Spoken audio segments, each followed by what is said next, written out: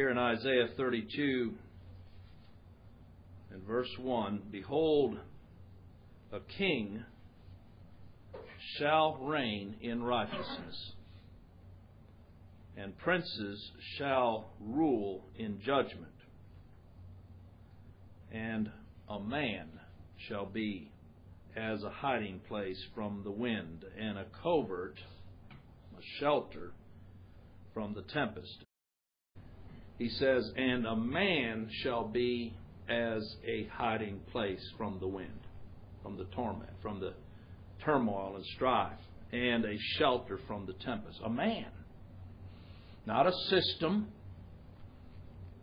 of government, but a man shall be that hiding place. So that's really where I've taken my title from, this message, the hiding place. And the first thing we see here in these verses, 1 and 2, is that this hiding place is found in a king of righteousness. You know, as we consider those words and look at them as they pertain to the Lord Jesus Christ, that's exactly what the message of Scripture is. Where is righteousness to be found? How is it that sinners can ever hope to have a standing with a holy God, knowing and acknowledging our sin before Him? Well, that hiding place is to be found in a king of righteousness.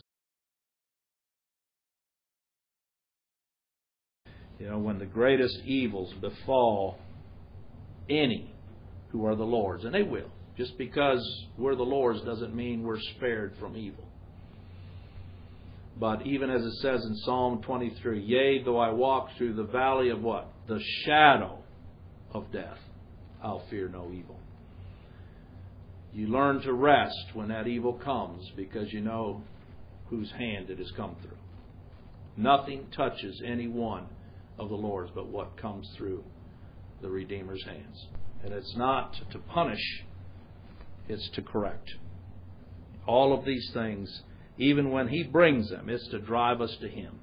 In the wind, where does it drive you? It drives you to the man who is that refuge. In the rain and the storm, where does it drive you? To the man, to this one who has established all righteousness.